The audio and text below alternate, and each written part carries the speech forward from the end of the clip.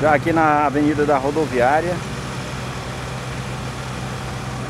Aqui do terminal rodoviário na Cor Carvalho. Os trabalhos já estão iniciando de asfaltamento.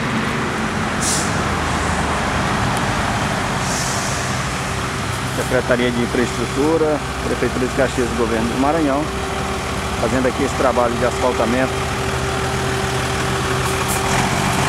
revitalizando essa grande avenida e as pessoas fazem caminhada diariamente, né?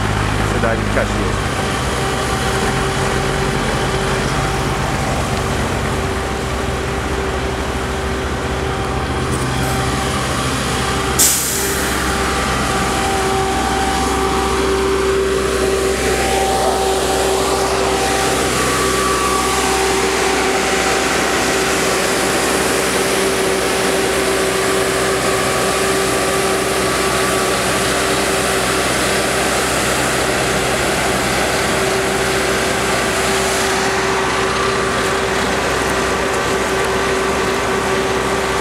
Agora, depois de finalizar a Avenida Costa, a Rua Costa Sobrinho, aqui no bairro Volta Redonda.